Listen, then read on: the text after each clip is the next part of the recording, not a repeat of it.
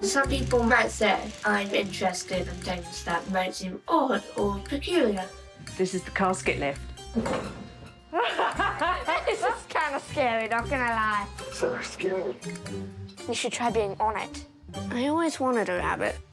I should take up taxidermy. The fact that they're odd makes them so amazing, such as bats. Whether they're alive Goodbye, Alfred. Or dead. I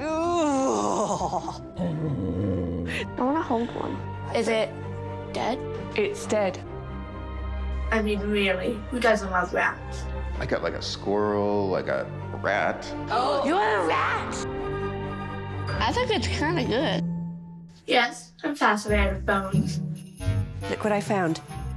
Bird bones. It's just the skull, and then we have a full bird. Maybe get some fake moss, crystals, fake moss, and then lay the bones. I love your creativity. What are you doing? Boiling bird bones. Where did you get bird bones? Mom,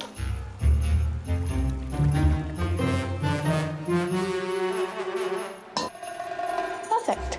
And some might say I have a darker sense of humor. I found more body juice. It's not body juice. There's a whole tub of yellow juice in a separation room. It's gonna be body juice. You're such an idiot. this was a terrible idea. She's going to be in therapy idea. for years. You're gonna have your bone in a jar someday. Wow! Oh my goodness. Sleep with one eye open, mother. He's coming for you. Turn it on. Hey, don't turn it on. And I do wear black all the time. Oh, baby, you're a genius. I know. When it comes to the supernatural, I'm a very strong believer. I have been since I was a kid. Why are there lights on? Movers, No, monsters, no. ghosts. Especially the spirits in our new home. Hello, ghost. What are you looking at? I don't know.